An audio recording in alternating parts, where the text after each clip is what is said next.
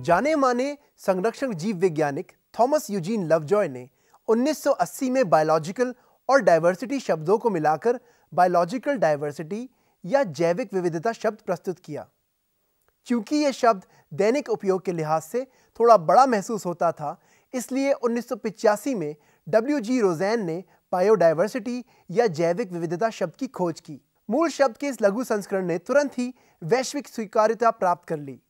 शायद ही कोई दिन जाता हो जब हम इस शब्द के संपर्क में नहीं आते हैं। समाचार पत्रों और शोध पत्रों में उद्धृत ये शब्द आसानी से समक्ष आ जाता है। यदि दूर स्थित आकाश गंगा से कोई अन्य ग्रही एलियन आया हुआ हमारे ग्रह पृथ्वी पर भ्रमण करे, तब सबसे पहले जो बात उसको अचंभित करेगी, वह शायद हमारे जीवन की अति विशाल विविधता होगी। हम मानव के लिए भी ग्रह पर उपस्थित जीवित विभिन्न जातियाँ स्पीशीज जिनके साथ हम रहते हैं, हमें आश्चर्यचकित किए बिना नहीं छोड़ती। सामान्य मनुष्य मुश्किल से विश्वास करेगा कि हमारी पृथ्वी पर बीस हज़ार चीटियों की जातियाँ, तीन लाख बीटल, सत्ताईस हज़ार मत्स्य जातियाँ तथा बीस हज़ार से अधिक अधिपादप आर्किड की जातियाँ हैं। इकोलॉजिस्ट तथा जैव विकास वैज्ञानिक इस विविधता के महत्व को कुछ आवश्यक प्रश्न पूछकर समझने की कोशिश कर रहे हैं, जैसे कि इतनी विभिन्न जातियाँ क्यों हैं? क्या यह महान विविधता पृथ्वी के इतिहास में पहले से उपस्थित थी? ये सब विचित्रताएँ कहाँ से आईं? जीवमंडल के लिए यह विविधता क्यों और कैसे महत्वपूर्ण है? यदि यह विविधता कम होती तो क्या जीवमंडल का कार्य अलग होता? मानव जीवन इस विविधता से किस प्रकार लाभान्वित है? मेरा नाम नकीब मेहदी है और आज हम इस श्रृंखला के पहले भाग में इन कुछ प्रश्नों के उत्तर तलाश करेंगे। जैसे कि जैविक विविधता क्या होती है? और इसके महत्वपूर्ण प्रकार जैसे कि अनुवांशिक विविधता, जिसे हम जेनेटिक डाइवर्सिटी भी कहते हैं, जातीय विविधता स्पीशीज डाइवर्सिटी और पारिस्थितिकीय विविधता, जिसे हम इकोलॉजिकल डाइवर्सिटी भी कहते हैं। इसके बाद हम ये भी जानने की कोशिश करेंगे कि पृथ्वी तथा भारत में कितनी जातियाँ हैं। आइए हम बात करते हैं जैव विविधता के मायने के बारे में। इतने अधिक प्रयुक्त शब्द के लिए कोई एक आदर्श परिभाषा का ना होना वाकई आश्चर्यजनक है। परंतु शब्द के अर्थ से ही इसके मायने समझ में आ जाते हैं। आखिरकार सभी जानते हैं कि जैविक का अर्थ एक जीव जगत है और विविधता का शब्द शाब्दिक अर्थ प्रकार। बायोडाइवर्सिटी के पहले हिस्से बायो का अर्थ निकालने में कोई भी दुविधा नहीं है। यह शब्द जीवन या सजीव को इंगित करता है। इस हिसाब से जैविक विविधता अथवा जैविक विविधता का सीधा अर्थ है जीवित संसार की विविधताएँ। कम से कम मोटे तौर पर तो इसका यही अर्थ समझ में आ सकता है। परंतु विविधता शब्द की व्याख्या कई तरह से की जा सकती है। इससे जीवन के विविध पहलुओं का अध्ययन करने वाले वैज्ञानिकों की चर्चा में सूक्ष्म भेद उत्पन्न हो जाते हैं। इसलिए विविधता के अंतर्गत न सिर्फ़ एक प्रजाति के अंदर पाए जाने वाली विविधताएँ, अपितु विभिन्न परिजातियों के मध्य अंतर और पारिस्थितिकीय तंत्र के मध्य तुलनात्मक विविधता भी शामिल की जाती है। एक साधारण व्यक्ति जब शब्द जैव विविधता का प्रयोग करता है तो उसका जो तात्पर्य होता है, वह दरअसल प्रजातीय जैव विविधता है। एक प्रजाति का अर्थ है, ऐसे प्राणियों का समूह जो ऐसी संतति पैदा करने की क्षमता रखते हो, जो खुद जनन क्षमता रखती हो। एक सामान्य आदमी के लिए इस शब्द के अंतर्गत कबूतर से लेकर हाथी और अनार से लेकर शलजम तक समस्त प्रजातियाँ सम्मिलित हैं। परंतु जैव विविधता जीवों के असामान्य विविधताओं तक ही सीमित नहीं रहती है। इसके अंतर्गत जीवित पदार्थों के संपूर्ण संग्रह का कुल योग और जिस पर्यावरण में वे रहते हैं, अर्थात पारिस्थितिकीय तंत्र भी शामिल हैं। इसमें जीवों के अंदर और उनके मध्य की विविधताओं को भी दृष्टिगत रखा जाता है। इसमें एक दूसरे के ऊपर प्रभाव डालने वाले समुदाय भी सम्मिलित हैं। इस दृष्टि से अगर देखा जाए तो जैव विविधता विभिन्न पारिस्थितिकीय तंत्रों में उपस्थित जीवों के बीच तुलनात्मक विविधता का आकलन है। यह एक महत्वपूर्ण संकल्पना है, क्योंकि सभी जीव और उनका पर्यावरण एक दूसरे पर अत्यंत नजदीकी से प्रभाव डालते हैं। इस पर्यावरण में कोई भी बदलाव, या तो जीव के विलुप्त होने का कारण बनता है या फिर उनकी संख्या में विस्फोटक बढ़ोतरी का। कोई भी प्रजाति अपने पर्यावरण के प्रभाव से अनछुई नहीं रह सकती है। इसी प्रकार किसी प्राणी या वनस्पति की संख्या में कमी या वृद्धि इनके पर्यावरण में परिवर्तनीय प्रभाव डालता है। इससे अन्य प्रजातियों के जीवन पर भी प्रभाव पड़ता है। वृहद रूप से देखा जाए तो वनस्पतियाँ, प्राणियों और सूक्ष्म जीवियों के अति विविधताओं का आधार समझा जा सकता है। जीन से प्रजाति तक और उनके पारिस्थितिकीय तंत्र के साथ। इसलिए जैव विविधता की सबसे स्पष्ट परिभाषा होगी, जैविक संगठन के सभी स्तरों पर पाई जाने वाली विविधताएँ ही जैव विविधता है। इस दृष्टिकोण को समझने वालों के लिए स्वीकार्य परिभाषा किसी क्षेत्र के जीनों, प्रजातियों और पारिस्थितिकीय तंत्रों की संपूर्णता होगी।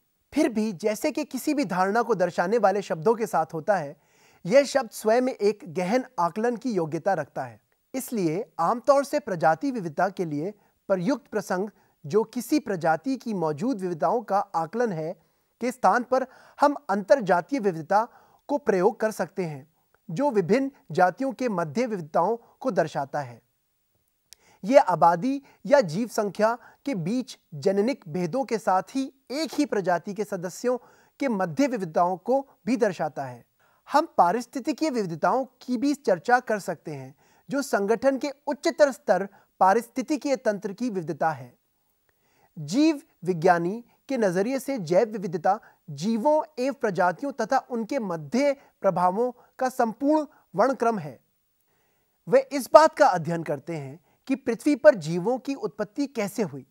किस प्रकार वे विलुप्त हुए?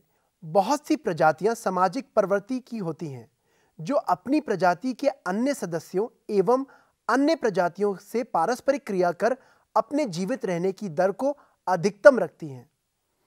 ऐसी प्रजातियाँ जीव विज्ञानियों के लिए विशेष आकर्षण होती हैं।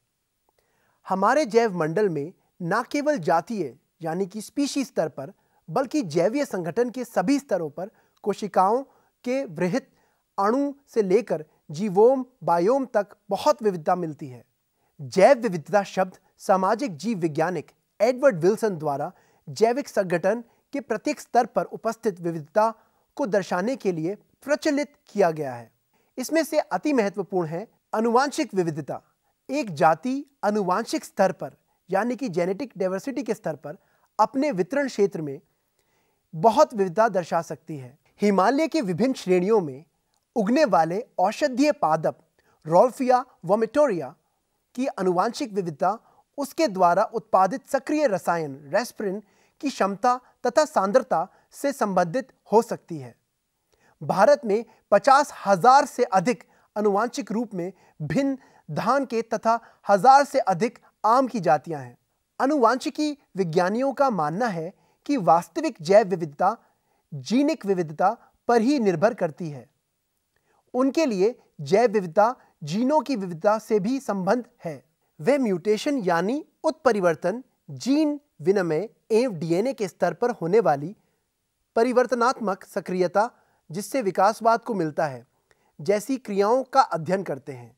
हालाँकि अत्यंत विस्तृत जीनोम मैपिंग एवं अनुवांशिकता जिसके अध्ययन में बहुत समय लगता है के बिना जैनिक जैव विविधता को मापना आसान नहीं है। हालाँकि कार्यशैली में दिखाई देने वाले अंतरों के बावजूद सभी वैज्ञानिक जीव विविधता की महत्व एवं जहाँ तक संभव हो, इसे परिरक्षित रखने की आवश्यकता पर एकमत है। दूसरा, जातीय यानी स्पीशीज डाइवर्सिटी जातीय विविधता। यह भिन्नता जातीय स्तर पर है। उदाहरण पश्चिमी घाट के उभयचर जातियों की विविधता पूर्वी घाट से अधिक है। तीसरा पारिस्थितिकीय विविधता, यानी इकोलॉजिकल डाइवर्सिटी यह विविधता पारितंत्र स्तर पर है।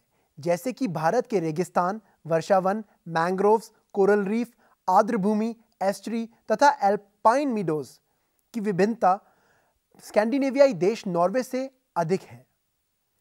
पारिस्थिति विज्ञानी जैव विविधता का अध्ययन न सिर्फ़ प्रजातियों के संदर्भ में करते हैं, अपितु प्रजाति के निकटतम वातावरण और उस वृहद परिक्षेत्र जिसमें वे निवास करते हैं के संदर्भ में भी करते हैं।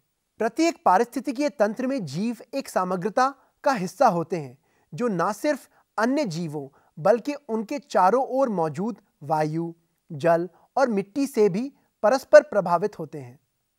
यही वह पहलू है जिस पर ज़्यादातर पारिस्थितिकीय अध्ययन केंद्रित होता है।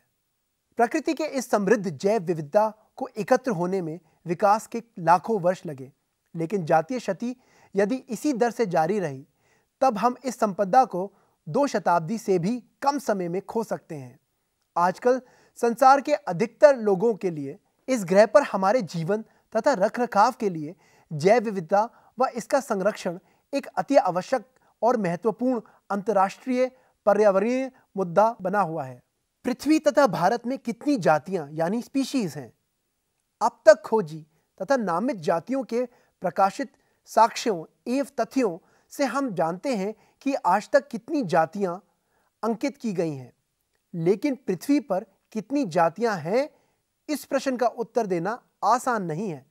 IUCN international union for conservation of nature and natural resources के अनुसार अब तक दर्शाई गई जंतु व पादपों की कुल संख्या डेढ़ मिलियन से कुछ अधिक है। लेकिन हमें यह ज्ञात नहीं है कि अभी और कितनी जातियों की खोज तथा व्याख्या शेष है। देखा जाए, ट्रॉपिकल इलाके की तुलना में टेम्परेट इलाकों की स्पीशीज इन्वेंट्री अधिक पूर्ण है। दुनिया में कितनी जाति विविधता है इसको जानने के लिए बायोलॉजिस्ट एक स्टैटिस्टिकल तुलना में लगे हुए हैं। वैज्ञानिकों ने गहन रूप से अध्ययन किए गए कीटों के समूह की ट्रॉपिकल और टेम्परेट जातियों की सांख्यिकीय तुलना कर उनके परिणामों के अनुपात को जंतु व पादपों में अनुमानित कर पृथ्वी की कुल जातियों का आंकलन किया। कुछ चरम आंकलन की परास 20 से 25 मिलियन है, लेकिन रॉबर्ट मे द्वारा दिए गए एक अधिक संतुलित तथा वैज्ञानिक रूप से शुद्ध आंकलन वैश्विक जातीय विविधता को लगभग 70 लाख 7 मिलियन तक मानता है। आइए पृथ्वी की जैव विविधता के कुछ रोचक पहलुओं को वर्तमान में उपलब्ध जातीय सूचियों के आधार पर देखें।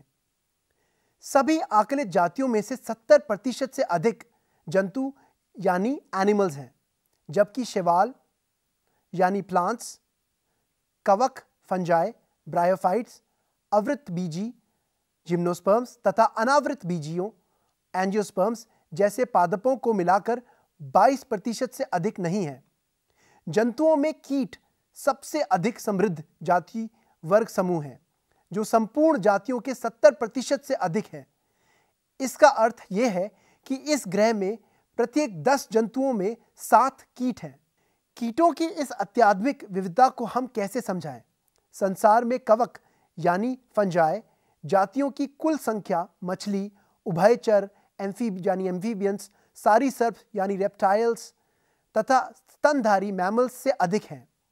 ये बात ध्यान में होनी चाहिए कि ये आंकलन प्रोकैरियोट की संख्या नहीं बताते। जैव वैज्ञानिकों को यह पक्का विश्वास नहीं है कि प्रोकैरियोटिक जातियों की संख्या कितनी हो सकती है। समस्या ये है कि पारंपरिक वर्गीकरण के तरीके सूक्ष्म जीवियों यानी माइक्रो ऑर्गेनिजम्स को पहचानने के लिए उचित नहीं है, तथा बहुत सी जातियाँ प्रयोगशाला में कल्चरेबल नहीं हैं। यदि इन जातियों को समझने के लिए जैव, रासायनिक अथवा आणुक तरीके अपनाते हैं, तब इनकी विविधता लाखों में पहुँच सकती है। यद्यपि भारत का भूमि क्षेत्र विश्व का केवल 2.4 प्रतिशत है, लेकिन इसकी वैश्विक जातीय विविधता 8.1 प्रतिशत है। यही कारण है कि संसार के 12 महाविविध देशों में भारत भी एक है। भारत में लगभग पैंतालीस हज़ार पादप जातियाँ तथा इससे दो गुना से अधिक जंतु जातियों को अभिलिखित किया जा चुका है। ये खोज botanical survey of India and zoological survey of India के तत्वाधान में की गई है। भारत को फ़सलों की विविधता का केंद्र माना जाता है। ये खेती की गई वनस्पतियों की उत्पत्ति के 12 केंद्रों में से एक है। भारत को चावल, अरहर, आम, हल्दी, अदरक, गन्ना, गूसबेरी आदि की तीस हज़ार से पचास हज़ार किस्मों का खोज का केंद्र माना जाता है और दुनिया में कृषि के सहयोग प्रदान करने में भारत का सातवां स्थान है। भारत बहुत से जंगली और पालतू पशुओं का आवास है। दुनिया के जैव विविधता हॉटस्पॉट ऐसे क्षेत्र हैं जहाँ स्थानीय प्रजातियों की भरमार हो। ऐसे दो क्षेत्र भारत में हैं। जैविक हॉटस्पॉट, जैव विविधता विशेषज्ञ डॉक्टर नॉर्मन मेयर्स ने सबसे पहले इन जैव विविधता हॉटस्पॉट को पहचाना और 1988 और 1990 में प्रकाशित अपने दो लेखों में इन्हें प्रस्तुत किया। अधिकांश हॉटस्पॉट उष्णकटिबंधीय यानी ट्रॉपिकल क्षेत्रों और जंगली इलाकों में मौजूद हैं। 1988 में किए गए अध्ययन में पहचाने गए 18 हॉटस्पॉट में से दो भारत में खोजे गए। ये दो क्षेत्र पश्चिमी घाट और पूर्वी हिमालय थे। हाल ही के संशोधित 25 हॉटस्पॉट की सूची में चुने गए दो क्षेत्र पश्चिमी घाट श्रीलंका और भारत बर्मा क्षेत्र है। ये दोनों ही विश्व के आठ शीर्ष सर्वाधिक महत्वपूर्ण हॉटस्पॉट क्षेत्रों में सम्मिलित हैं। इसके साथ ही भारत में ऐसे 26 मान्यता प्राप्त स्थानिक केंद्र हैं, जहाँ आज तक पहचाने गए और वर्णित पुष्पीय पौधों में से लगभग एक तिहाई पौधे पाए जाते हैं। पश्चिमी घाट हॉटस्पॉट। पश्चिमी घाटों को सह्याद्री पहाड़ियाँ भी कहा जाता है। इस क्षेत्र में लगभग एक लाख साठ हज़ार वर्ग किलोमीटर की क्षेत्रफल आता है और यह क्षेत्र देश के दक्षिण छोर से गुजरात तक 1600 किलोमीटर तक फैला हुआ है। पश्चिमी घाट दक्षिण पश्चिमी मानसून हवाओं को रोकता है, इसलिए इन पहाड़ियों की पश्चिमी ढलानों पर हर साल भारी बारिश होती है। झाड़ीदार जंगल, पतझड़ी एवं उष्णकटिबंधी वर्षावन, पर्वतीय जंगल और ढलानदार घास के मैदान हैं। यहाँ सभी कुछ पाया जाता है। Bharat Burma hotspot, tropical evergreen rain forest, Asia के गंगा ब्रह्मपुत्र निम्न भूमि का तेईस लाख तिहत्तर हज़ार वर्ग किलोमीटर क्षेत्र घेरता है। इस हॉटस्पॉट में पारिस्थितिकीय तंत्रों की आश्चर्यजनक विविधताएँ देखने को मिलती हैं। इनमें मिश्रित आर्द्र सदाबहार, शुष्क सदाबहार, पतझड़ी एवं पर्वतीय वन सम्मिलित हैं। झाड़ीदार वन काष्ट वन और बिखरे हुए बंजर वन भी कहीं कहीं पाए जाते हैं। इस क्षेत्र में निम्न भूमि, बाढ़ से तैयार दलदल, कच्छ वनस्पतियाँ जैसे मैंग्रोव और मौसमी घास के मैदान भी पाए जाते हैं। वास्तव में अभी कई जीवित जातियों की खोज तथा उनका नाम दिया जाना शेष है। यदि रॉबर्ट मे के वैश्विक आकलन को स्वीकार करें, तब अभी तक कुल 22 प्रतिशत जातियों की ही खोज हुई है। इस अनुपात से भारत की विविधता का आकलन करें तो एक लाख से अधिक पादप तथा तीन लाख से अधिक जंतु, जातियों की खोज तथा वर्णन होना शेष है। क्या हम कभी अपने देश की संपूर्ण जैविक संपदा की खोज कर सकेंगे? सोचिए इस कार्य को पूर्ण करने के लिए कितनी प्रशिक्षित मानव शक्ति तथा समय की आवश्यकता होगी। यह स्थिति और भी अधिक भयावह हो सकती है जब हम महसूस करते हैं कि बहुत सी जातियाँ खोज करने से पहले ही विलुप्त हो रही हैं। प्रकृति की जैविक पुस्तकालय, उसमें संग्रहित पुस्तकों के, शीर्षकों के सूचीबद्ध करने से पहले ही विनष्ट हो रहा है। तो बच्चों, अगर संक्षिप्त में समझें तो लगभग तीन दशमलव आठ बिलियन वर्ष पहले पृथ्वी पर जीवन की उत्पत्ति के समय से पृथ्वी पर जीवों में बहुत अधिक विविधीकरण हुआ है। जैव विविधता, जैवीय संगठन के सभी स्तरों पर उपस्थित कुल विविधता को दर्शाती है। इनमें से अनुवांशिक जातीय तथा पारितंत्र विविधता अधिक महत्वपूर्ण है और सभी संरक्षण के प्रयास इन सभी स्तरों पर विविधता को सुरक्षित करने के उद्देश्य से किए गए हैं। संसार में 15 लाख से अधिक जातियों के साक्ष्य एकत्रित किए जा चुके हैं, लेकिन पृथ्वी पर लगभग 60 लाख जातियाँ खोज तथा नामकरण के इंतज़ार में हैं। जिन जातियों को नाम दिए जा चुके हैं उनमें 70 प्रतिशत से अधिक जंतु हैं, इनमें भी लगभग 70 प्रतिशत कीट हैं। इसमें कवकों की संख्या सभी कशेरुख प्राणियों की तुलना में अधिक है। भारत लगभग पैंतालीस हज़ार पादप जातियों तथा इससे दुगनी जंतु जातियों के साथ विश्व के 12 महाविविधता वाले देशों में एक है। बच्चों, आज इस अध्याय में हमने जैव विविधता के बारे में जाना। अभी इस अध्याय में काफ़ी कुछ शेष है। जिसे हम अगले सत्र में जानेंगे। तब तक के लिए धन्यवाद।